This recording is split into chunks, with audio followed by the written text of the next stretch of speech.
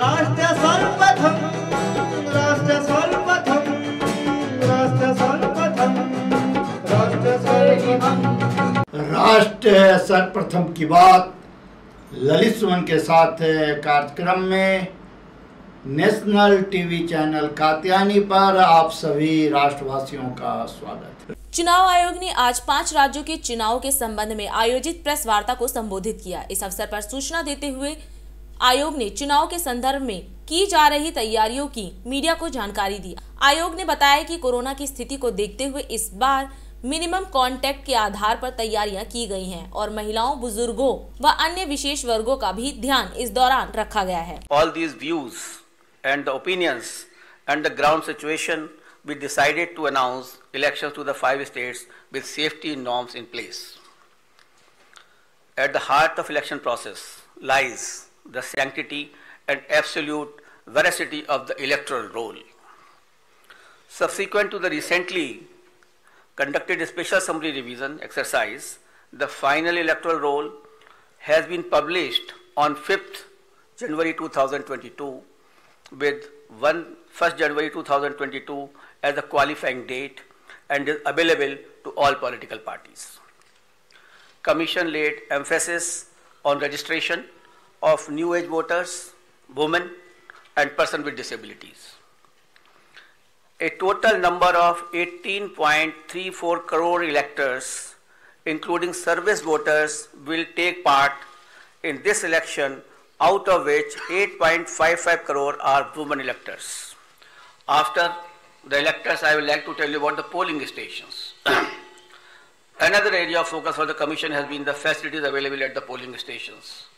We had instructed all COs and all DOs to visit all major polling stations to see and to ensure that all assured minimum facilities are available on all the polling stations. And like uh, AMF, like drinking water, waiting area, electricity, ramps, toilets has been made available at all polling stations. All polling stations shall be necessarily located at ground floor for the accessibility point of view. They will be equipped with all COVID mitigation facilities like sanitizers, thermal scanners, masks, gloves, so that they are absolutely safe to our voters. And in view of the pandemic situation, the maximum number of electors at a polling station has been reduced from 1500 to 1250. With this particular reduction in the number of voters at a station, we have to increase our polling stations to 30,330 more.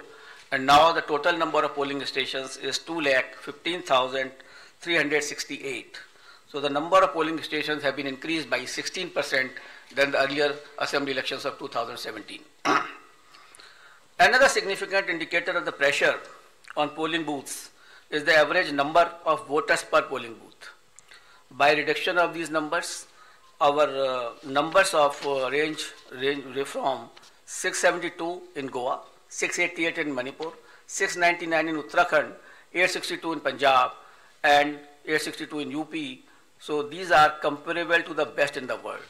On an average, these are the numbers for per person per person for per polling stations. So all stations are less than 1,000 and you see 688, 699, which is very comfortable and we can give a very good uh, polling uh, stations experience to the voters. As a part of our firm commitment towards greater constructive participation of women in the electoral process, Commission has mandated that at least one polling station managed exclusively by women shall be set up in every assembly constituency.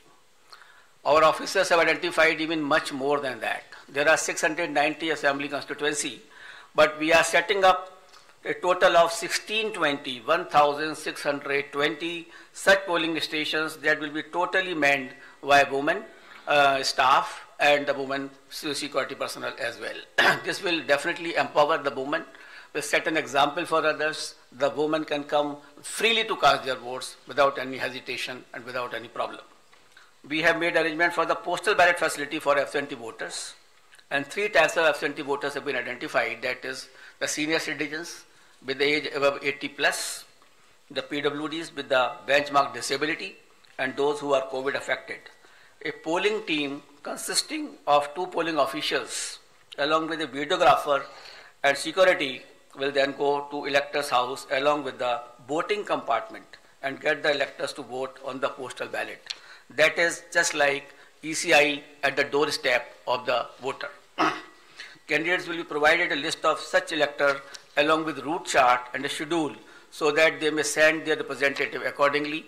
Therefore, there is absolutely transparency as far as this absentee voter is concerned. We have also given a facility of online nomination to the candidates. this is an optional facility and we would like the candidates should use this facility so that the contact, the physical contact can be reduced and online facility can be fully utilized by the candidates who are coming for contesting the poll.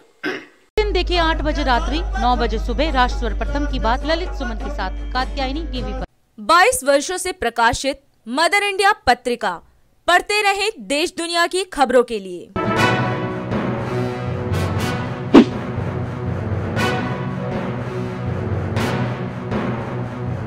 छब्बीसवें वर्ष में आपके लोकप्रिय समाचार पत्र India दर्पण का प्रवेश। आप देखते रहे अपने क्षेत्र की खबरें।